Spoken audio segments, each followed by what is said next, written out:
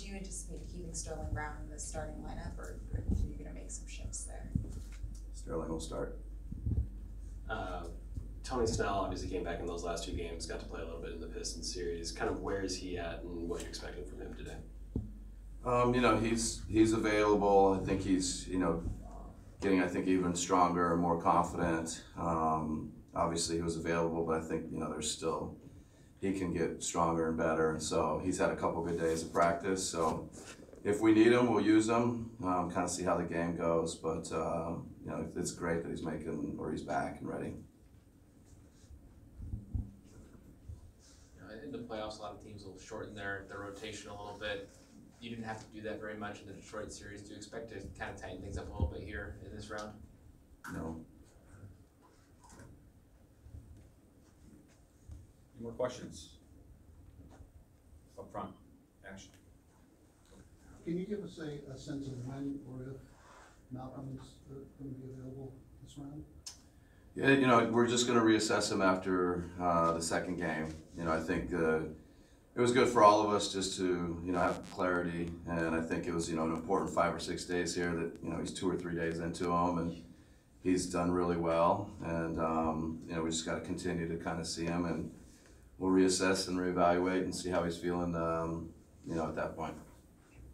You mentioned not tightening the rotation. Obviously, if certain guys play more, you know, how, how do you plan to use that depth? Or why is it so important to utilize that depth and continue using it? Yeah, I mean, we have a lot of guys that can help us. You know, I think the way we play, um, you know, on both ends of the court defensively, I think, you know, we, we really want to be active, um, you know, really committed to everything we're doing, uh, be great on that end, and then offensively play with a lot of pace. And so I think our depth and using, you know, a lot of players uh, is important to us, keeping guys fresh. Um, and, you know, I think, uh, you know, hopefully we just, you know, with Tony back and, um, at whatever point Malcolm becomes available, we just have more people to throw at our opponent. And, um, you know, I, I, I do understand that the rotation sometimes in the playoffs gets shorter, and if needed, that will happen. But uh, certainly the plan and the hope is we continue to play, you know, a lot of guys and keep guys fresh and keep playing fast and with a lot of energy and effort on both ends. Coach, uh, just a follow up on Malcolm, uh, are there any benchmarks or, or, or points that you guys are looking to see him progress at before you and the medical staff are comfortable with him being returning to action? Um, I mean, kind of the specifics of the benchmark are probably, you know, better than medical would actually address them, but I just playing, you know, five on five, having multiple, you know, scrimmages or five on five opportunities, seeing how he responds to those five on five opportunities and uh, making sure the next day when he comes back in, he's still feeling great and, you know, continuing to move forward uh, without any kind of setbacks. And so, um, you know, he has played some five on five and um, he needs more. Uh, Bledsoe didn't have a particularly great series against the Celtics last year. What do you expect out of him this year? You know, in part because maybe incentive for, from him and also the way he's changed his game uh, in this season. Yeah, I mean, I can really only speak to you know what Bled's done all year, what Bled did in the first round, uh, his focus, his commitment to the team, to you know his teammates being great for everybody. He's just been phenomenal. So, um, you know, I expect Bled to be Bled, and uh, you know I think he's uh, looking forward to just being in the playoffs and being with a great group, and um, you know I think he's just excited about the second round and um, playing well. Uh, but based on what we saw last night, how, how often in the playoffs does crowd noise become a factor in terms of you doing your job, communicating with guys on the floor, guys with guys out on the floor? And do you have sort of backup systems, hand signals, things like that?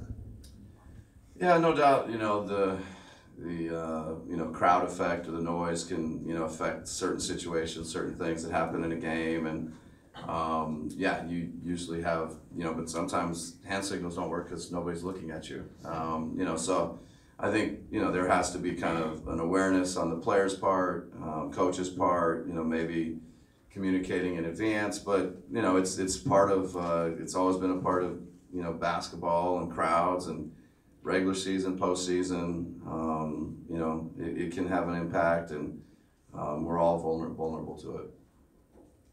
But are you expecting any effect from the long layoff? And how did you guys kind of plan for that? Yeah, no, I don't think it's ideal, uh, you know, but the thing, you know, is both teams have had to deal with the same, you know, I guess they probably even have one more day. Um, so, you know, we tried to balance rest and getting healthy and working on our execution, working on our game plan and just playing, you know, letting them keep their rhythm and, um, so it's, it's a really, really, uh, difficult equation and if you've been around a long time, you've seen it done a lot of different ways, and you're never sure which one is right. And teams are different, players are different, what they need. So, of course, we hope we did a good job, and we'll have an idea, you know, in a couple hours. But um, it's it's not ideal for either team. Coach, being that these guys are mostly creatures of habit, how do you kind of get them ready for a noon local time start?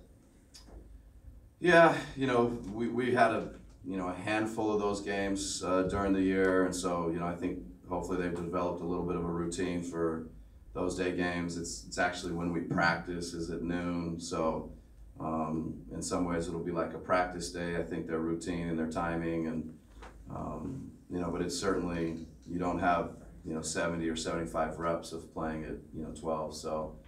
Uh, but again, both of us are dealing with it, all the players, both sides, um, and it's a little bit individual for them.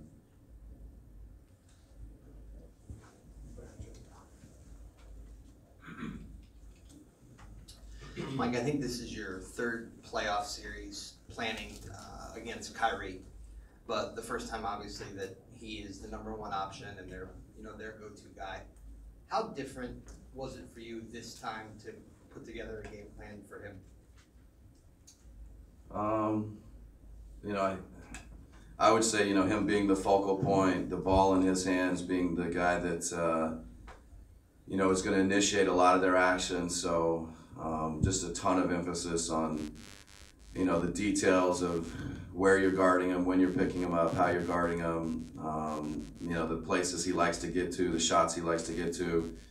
Um, but you know, still a lot of time on their bigs. Their bigs are great and picking pops. Their wings are really good playing one on one and facilitating. So, uh, but certainly he's you know, um, you know the focal point as you said, and I think you know the time and energy that we put into him was significant.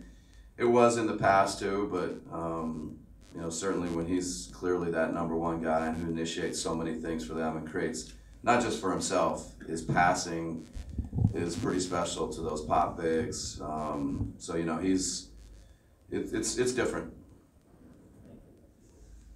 Thank you, bud. All right, thanks.